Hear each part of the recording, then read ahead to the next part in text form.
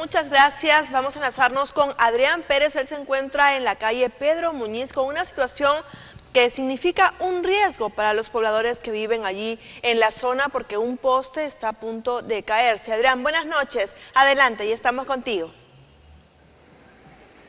Buenas noches, gracias por el pase. Información en directo. Nos encontramos exactamente en Pedro Muñiz con Nápoles, exactamente al frente de la Facultad de Medicina de la Universidad Nacional de Trujillo. Lo que ha ocurrido esta tarde es que un vehículo de color negro estaba a punto de voltear hacia la derecha, pero lamentablemente ha impactado contra este poste de alumbrado público y lo ha dejado prácticamente con la base totalmente debilitada.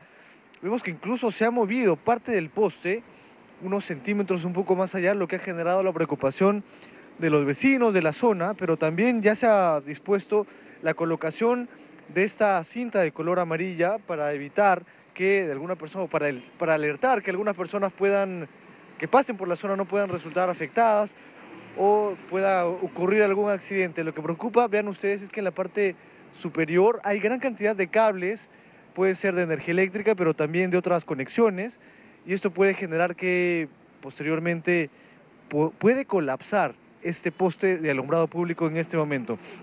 Reiteramos por el momento, ya eh, hemos visto según las imágenes, la Policía Nacional estuvo presente, también eh, el área de la municipalidad encargada de supervisar este tipo de casos ha llegado hasta la zona, pero sí por el momento continúa este poste a punto de colapsar en la intersección de Pedro Muñiz y Nápoles aquí en la ciudad de Trujillo. Reiteramos el llamado hacia las autoridades para que puedan intervenir lo más pronto posible. En este caso lo que corresponde es retirar este poste y colocar uno nuevo que permita el correcto funcionamiento de los cables y también para evitar que ocurra un accidente. Somos Sol TV, siempre primeros en la información regional.